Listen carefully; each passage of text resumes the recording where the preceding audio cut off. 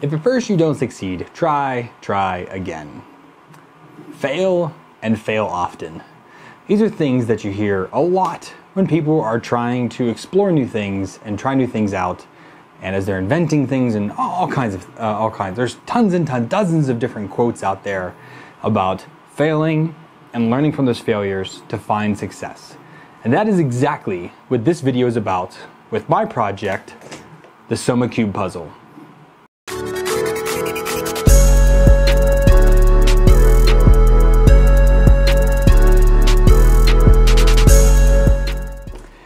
Welcome back, everybody. So, yes, this was a project that I royally failed. I mean, royally failed. And I didn't think I was actually going to recover the project because I wasn't really sure on how to make it work. Okay? So, let's go back a little bit.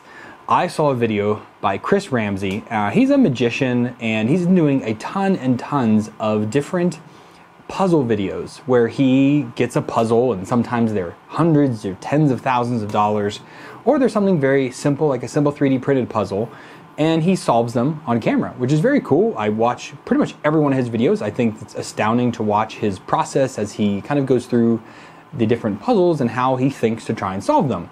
Some things he gets very quickly, some things you kind of yell at the screen like, why aren't you figuring this out? Everyone does that. Uh, so I saw him have a laser cut mostly laser cut. There's a bit of 3D printing in it, but a laser cut Soma cube puzzle, very similar to this one here, but of course it was laser cut out of wood. Looked very, very nice. And I was like, you know what? I think I can make that. Or as Bobby Duke Art says, I want that. So I decided to go down the path of creating my own.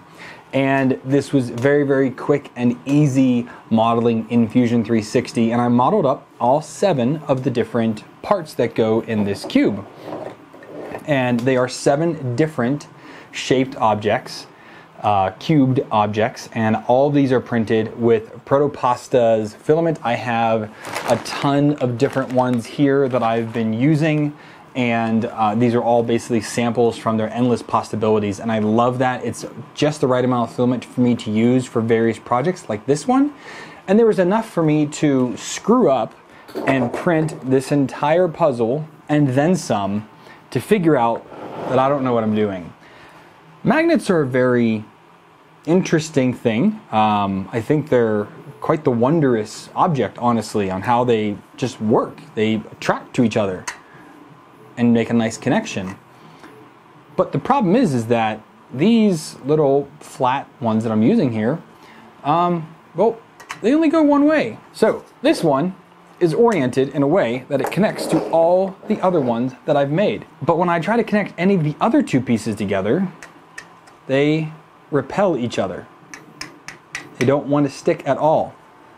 They actually want to throw each other away because they are both the same poles and they can't flip. And this is one thing I could not figure out is how do they flip? How do they do that?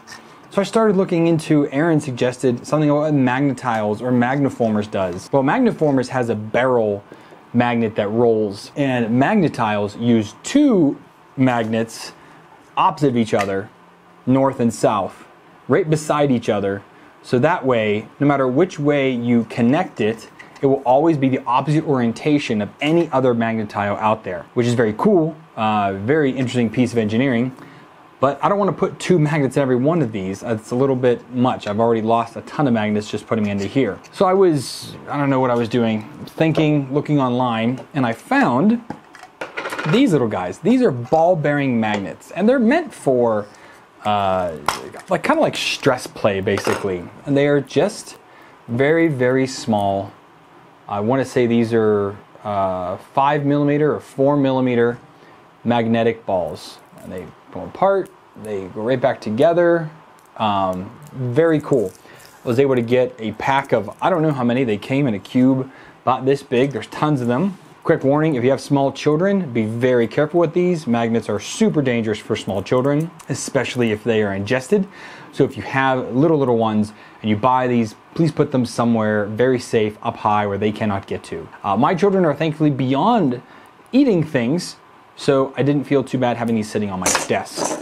So, okay, I'm gonna use these now And this is my current setup. I have just these, you know, six millimeter by three millimeter magnets that I was using. How do I get these ball bearing magnets to fit inside one of these cubes, still be accessible, still be able to be pushed in there, and have enough space to rotate so that if they come in contact with another object that has a magnet in it, they will always rotate to each other in order to connect to each other. That is what we need to figure out. So I got on the task of printing some very tiny test cubes here. And these are all, I think these are like 10 by 10s. And what I did is I printed them until I found the proper size inside. So it's actually is a seven millimeter um, hole inside that is cut off at the top so that the ball bearing is just there, just visible, so that they are able to connect to each other. Okay, so my mic died. Awesome. So what I'm talking about here is just basically how I got these to work, which was adding in that seven millimeter void for a five millimeter ball bearing, which gave it some space to go in there. Now I did have to print these uh, three different orientations. So I'm showing that here where I printed one with the hole up, one with the hole down, and one in the hole in the side. Now, in order to get these to fit properly, some of those holes need to be different size. Mainly the ones on the side, they need to be a little bit smaller, but the ones at the top and bottom of the print were fine at the default settings that I set them to. Now, how did I get these put in? So I used these great big pair of Lyman pliers that Aaron sent to me a while back, probably almost two years ago now, and I put a ball bearing on it, and then I push into these with quite a lot of force, and it's quite a loud like snap when it goes in. Now this is really important because you don't want these balls to come back out. These mag again they're magnets, they're dangerous, so we want to make sure they stay in there. And I had to find a good mix of easy enough to really put it in without deforming it, but yet it's in there tight enough it cannot come back out no matter what happens. So I was able to get that to work out well.